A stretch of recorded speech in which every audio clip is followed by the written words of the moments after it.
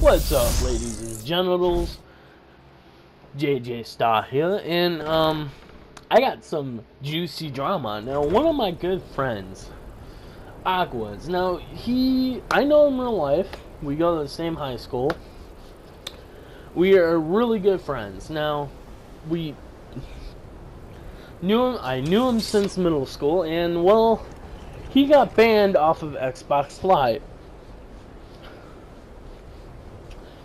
The reasons why he got banned were kind of eh, because it says he got communications banned, and then he got gameplay banned, to where he can't play on other games that involve online connections, and so basically can't play multiplayer on Call of Duty, and he can't talk to people, send messages, which is really weird because this kid just sits in a party all day.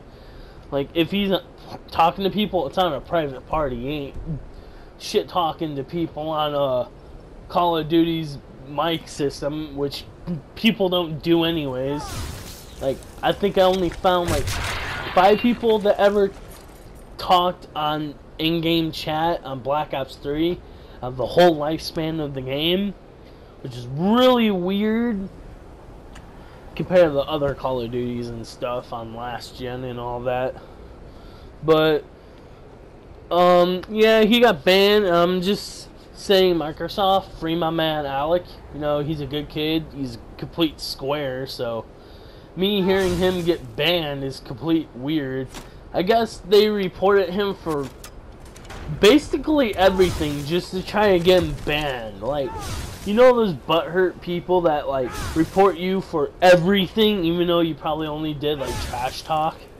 Maybe you know, 360 no scoped him off the Eiffel Tower on Modern Warfare 3. Like, yeah. But basically, he got reported for basically everything under the sun. You know, them treating him like Hitler and shit. And yeah, free my man Alec. You know, he, he he's nothing without without his Xbox Live. You know, he's like a lost little orphan Annie. And we need to free him, man. We need we need scale. We need to do that heist in GTA Online. You know, break into the prison and bail his ass out. But no, in all seriousness, free my man Alec, man. He he he is a lost dog without his Xbox Live, and you know, Alec, I'm rooting for you. I doubt they're gonna less uh lessen your suspension. You're probably going to sit there for another two or three weeks playing Skyrim like I am. Um, at least you're on spring break, man. So just enjoy that, even though the weather has been terrible. But yeah, free my man Alec. I'm JJ Star. I'm signing off. Peace the fuck.